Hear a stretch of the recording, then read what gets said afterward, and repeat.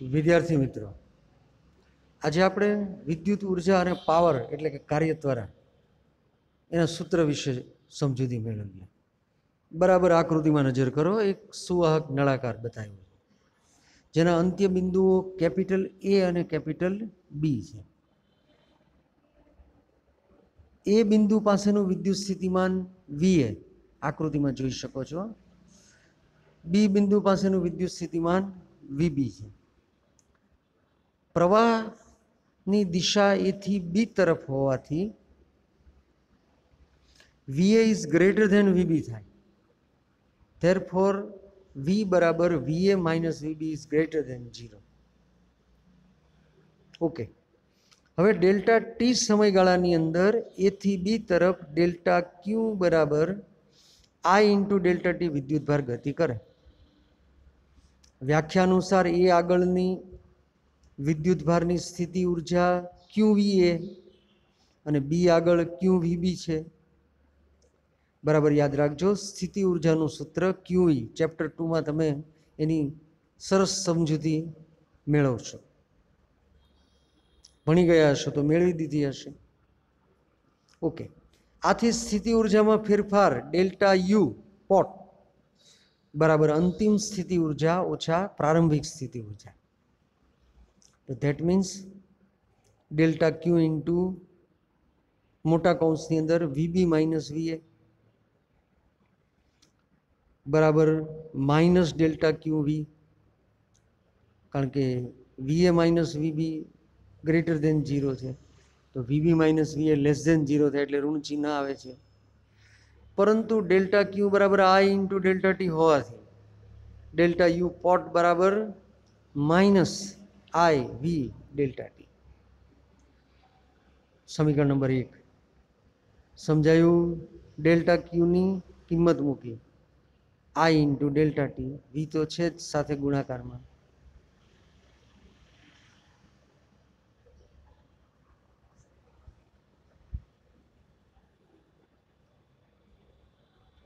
હવે કુલ ઊર્જા સંરક્ષણના નિયમ અનુસાર ડેલ્ટા કે પ્લસ ડેલ્ટા યુ બરાબર શૂન્ય. તો ધેટ મીન્સ ડેલ્ટા કે બરાબર minus delta U that means delta K બરાબર minus delta U pot that means delta K બરાબર I into V into delta T is greater than zero સમીકરણ બે. સમીકરણ એકની અંદર ગ્રેટર દેન ઝીરો છે printing mistake છે, સુધારી લેશો. ઓકે કાર્ય ઊર્જા પ્રમેય ધોરણ અગિયારમાં ભણી ગયા છીએ. ડબલ્યુ બરાબર delta K that means delta W બરાબર ડેલ્ટા કે પણ લખાય. તો ડેલ્ટા ડબલ્યુ બરાબર ડેલ્ટા કેનું સમીકરણ બેમાંથી મૂલ્ય લઈ લઈએ. I into V into delta T સમીકરણ ત્રણ સમજાઈ ગયું. આથી એકમ સમયમાં વ્યય પામતી ઊર્જા એટલે કે ખર્ચાતો પાવર જેને કાર્ય દ્વારા પણ કહેવાય પી બરાબર delta W upon delta T delta T cancel થશે. પી બરાબર આઈવી મળે છે. સમીકરણ ચાર સરળતાથી સમજાય. ઓમના નિયમ અનુસાર વી બરાબર આઈ આર કિંમત મૂકી દો. દેટ મીન્સ પી બરાબર આઈ સ્ક્વેર આર સમીકરણ પાંચમાં પીને સુવાહકમાં ઊર્જા વ્યય અથવા તો ઓહમિક વ્યય કહે છે. બહુ સરળતાથી સમજાય છે. ટેક્સ્ટ બુક પ્રમાણેની સમજૂતી મેળવી લઈએ તો જોઈ શકો છો. એકસો પાંચ પાના નંબર ટેક્સ્ટ બુકમાં નળાકાર. અંત્ય બિંદુઓ એ અને બી, આઈ જેટલો રેવાજિક પ્રવાહ એથી બી તરફ વહે છે. એ બિંદુ આગળનું વિદ્યુત સ્થિતિમાન વીએ અને બી બિંદુનું આગળ વીબી પ્રવાહ એથી બી તરફ વહે that means VA is greater than VB that means A અને બી વચ્ચેનો વિદ્યુત સ્થિતિમાનનો તફાવત. V is equal to V A minus VB is greater than zero છે. સમજાયું? ઓકે ડેલ્ટા ટી સમયમાં એથી બી તરફ ડેલ્ટા ક્યુ બરાબર આઈ ઇન્ટુ ડેલ્ટા ટી જેટલો વિદ્યુતભાર ગતિ કરે, વ્યાખ્યા મુજબ એ આગળ વિદ્યુતભારની સ્થિતિ ઊર્જા ક્યુ વીએ અને એ જ રીતે બી આગળ ક્યુ વીબી છે.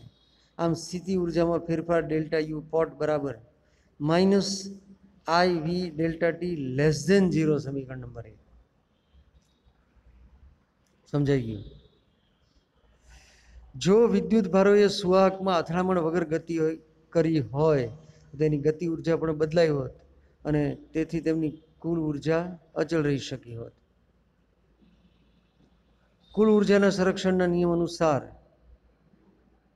સમજાય છે પદ આરામથી ડેલ્ટા કે બરાબર I V delta T is greater than zero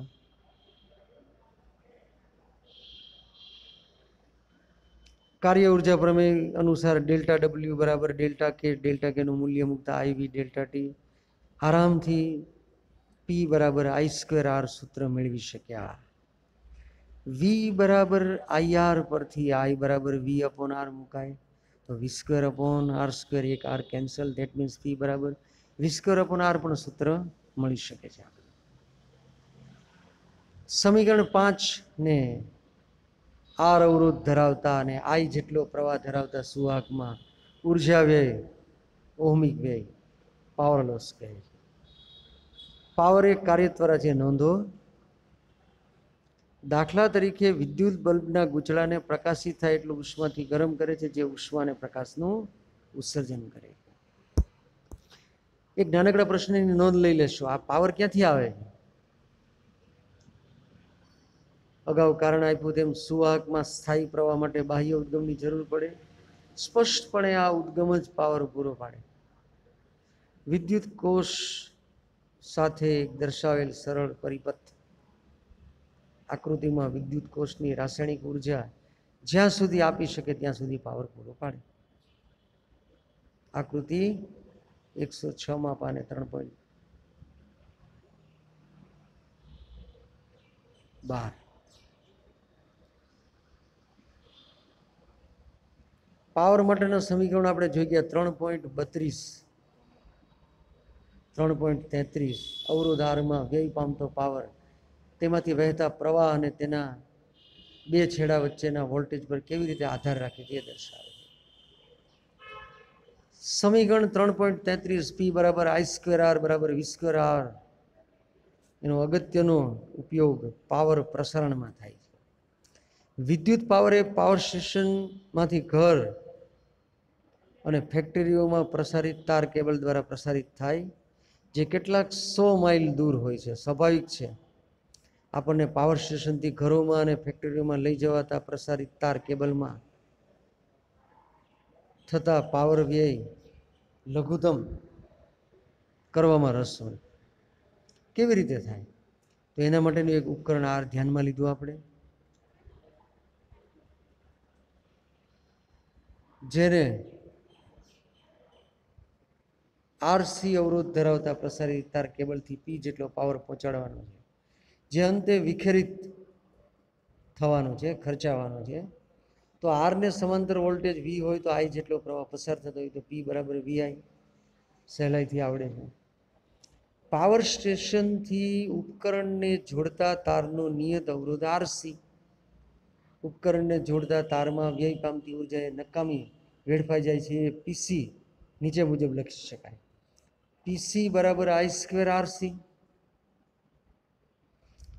I square બરાબર P square upon V square that mean PC બરાબર P square RC upon V square આમ પી જેટલો પાવર ધરાવતા ઉપકરણને ચલાવવા માટે ઉપકરણને જોડતા તારમાં વેડફાતો પાવર એ વી સ્ક્વેરના વ્યસ્ત પ્રમાણમાં હોય છે.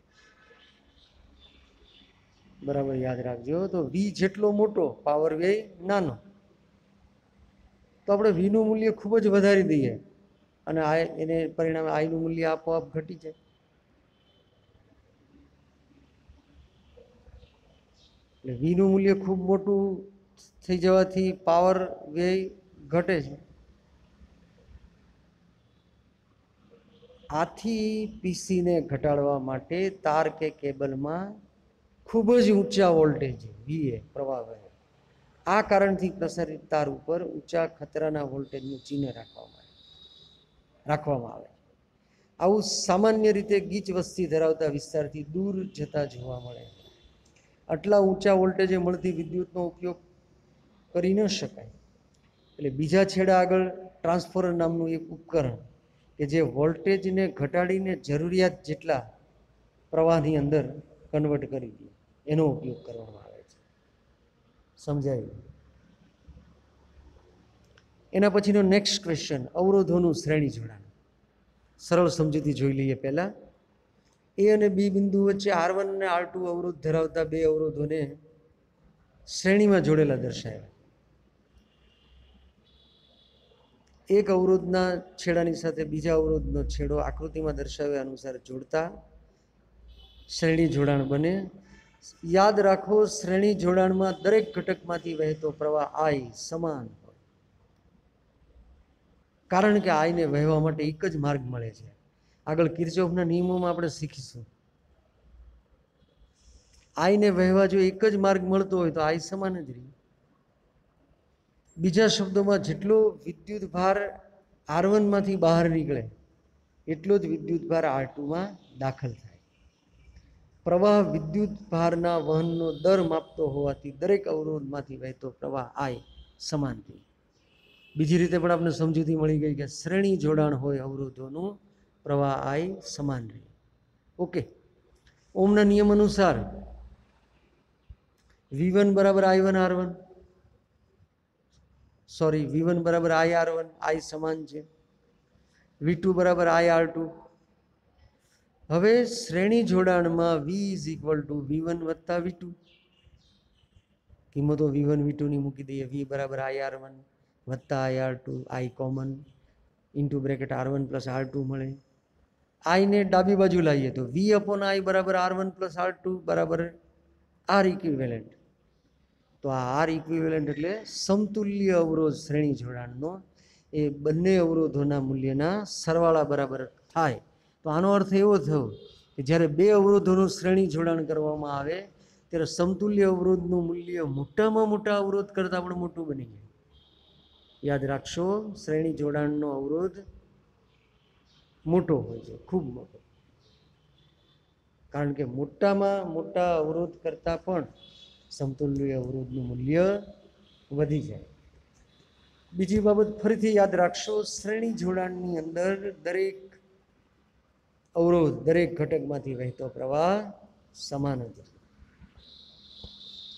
હવે ટેક્સ બુક પ્રમાણેની સમજૂતી જોઈ લઈએ. અવરોધકોનું શ્રેણી જોડાણ. જુઓ આકૃતિમાં આર વન અને આર ટુ દરેકમાંથી વહેતો પ્રવાહ આઈ સમાન દર્શાવેલો છે, બે અવરોધોના અંત્ય બિંદુઓમાંથી એક એક જ જોડેલું હોય અને બે અવરોધો એકબીજાને શ્રેણીમાં જોડેલા છે, એવું કહી શકાય. ત્રીજો અવરોધ પણ એની સાથે આવી રીતે જોડી દેવામાં આવે. તો એ ત્રણેય અવરોધો શ્રેણી જોડાણમાં છે એમ કહેવાય.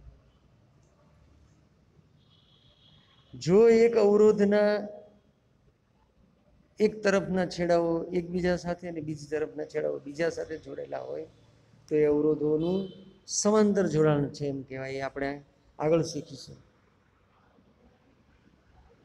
હવે આપણે આવડી ગયું છે એ પ્રમાણે. શ્રેણીમાં જોડેલા બે અવરોધો આર વનને આર ટુને ધ્યાનમાં લ્યો. જેટલો વિદ્યુત ભાર આર વનમાંથી બહાર નીકળે, તેટલો જ વિદ્યુત ભાર આર ટુમાં દાખલ થાય. પ્રવાહ વિદ્યુત ભારના વહનનો દર માપતો હોવાથી બંને અવરોધો આર વન અને આર ટુમાંથી સમાન પ્રવાહ પસાર થાય. ઓમના નિયમ અનુસાર વી બરાબર આઈઆર પરથી આર વનને સમાંતર સ્થિતિમાનનો તફાવત વી વન બરાબર આઈ આર વન આર ટુને સમાંતર વિદ્યુત સ્થિતિમાનનો તફાવત વી ટુ બરાબર આઈ આર ટુ વી બરાબર, વી વન વત્તા વી ટુ. કિંમતો મૂકી દઈએ, સહેલાઈથી આર ઇક્વિવેલન્ટ બરાબર. R one plus R two મળે, સમજાઈ ગયું. ત્રણ અવરોધો શ્રેણીમાં હોય તો, આર બરાબર આર વન વત્તા આર ટુ વત્તા આર થ્રી મળે. એન અવરોધો હોય, R one, R two up to R N. તો આર ઇક્વેલન્ટ બરાબર R one plus R two plus up to plus R okay હવે સમાંતર જોડાણનું આપણે જોઈ લઈએ. ફરીથી આકૃતિ નજર કરો. ત્રણ પોઈન્ટ પંદરમાં સૌથી નીચેની. આર વન અને આર ટુ અવરોધો, જેમના એક તરફના છેડાઓ એકબીજા સાથે અને એને એ બિંદુ સાથે જોડેલા બીજી તરફના છેડાઓ એકબીજા સાથે અને એને બી બિંદુ સાથે જોડેલા છે સમજાઈ ગયું. હવે એની ડાબી બાજુથી દાખલ થતો વિદ્યુત ભાર અંશતઃ આર વનમાંથી અને અંશતઃ આર ટુમાંથી પસાર થાય. આકૃતિમાં દર્શાવ્યા મુજબ વહેતા પ્રવાહ આઈ આઈ વન અને આઈ ટુ એ દર્શાવેલ બિંદુ આગળ વિદ્યુત ભારના વહનનો દર સૂચવે છે. ધેટ મીન્સ આઈ બરાબર આઈ વન વત્તા આઈ ઓકે.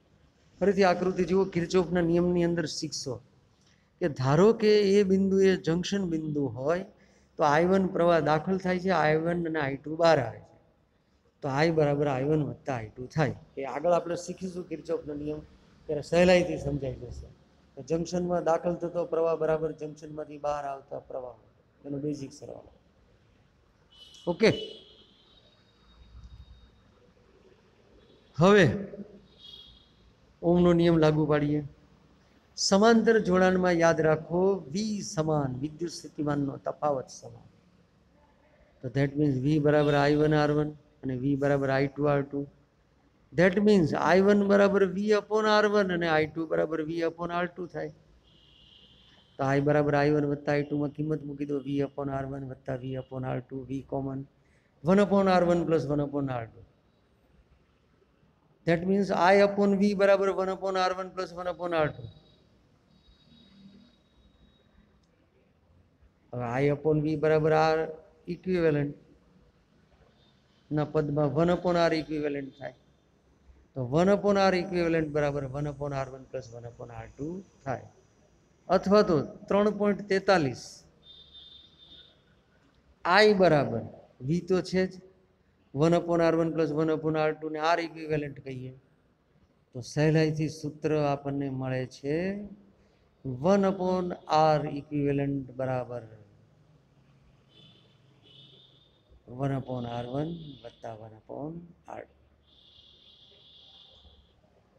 સમજાયું? સમાંતરમાં ત્રણ અવરોધો જોડેલા છે એ જોઈ લો. આર વન આર ટુ અને આર થ્રી પ્રવાહ. એના ત્રણ ભાગો પડે છે, આઈ વન, આઈ ટુ અને આઈ થ્રી. તો સમીકરણ મળ્યું આઈ બરાબર આઈ વન વત્તા આઈ ટુ વત્તા આઈ થ્રી. વી સમાન છે. વી બરાબર I one, R one, V બરાબર I two, R two, V બરાબર આઈ થ્રી, આર થ્રી બહુ સહેલાઈથી સમીકરણ સમજાય છે. આઈ બરાબર આઈ વન વત્તા આઈ ટુ વત્તા આઈ થ્રીમાં કિંમત મૂકી દો. તો V into bracket one upon R one plus one upon R two plus one upon R three સંયોજનને બોલે સમતુલ્ય અવરોધ આર ઇક્વિવેલન્ટ લઈએ તો આઈ બરાબર વી અપોન આર ઇક્વિવેલન્ટ તો that means one upon R equivalent બરાબર આઈ અપોન વી અને I upon V બરાબર one upon R one plus one upon R two plus one upon R three લખાય N અવરોધો સમાંતર જોડેલા હોય તો વન અપોન આર ઇક્વિવેલન્ટ બરાબર one upon R one plus one upon R two plus up to plus up to one upon R N એક નાનકડું ઉદાહરણ જોઈ લઈએ, જે આકૃતિ ત્રણ પોઈન્ટ સત્તરમાં છે. જટિલ પરિપથમાં વહેતો પ્રવાહ અને વોલ્ટેજ માટે સરસ મજાનું ઉદાહરણ છે. ઉદાહરણ તરીકે આકૃતિ ત્રણ પોઈન્ટ સત્તરમાં દર્શાવેલ પરિપથ ધ્યાનમાં લો. ત્રણ અવરોધો આર વન આર ટુ અને આર થ્રી પરિપથમાં છે. આર વનની સાથે આર ટુ અને આર થ્રી એનું સમાંતર જોડાણ દર્શાવ્યું. તો પેલા સમાંતર જોડાણનો ઇક્વિવેલન્ટ અવરોધ શોધીએ. One upon R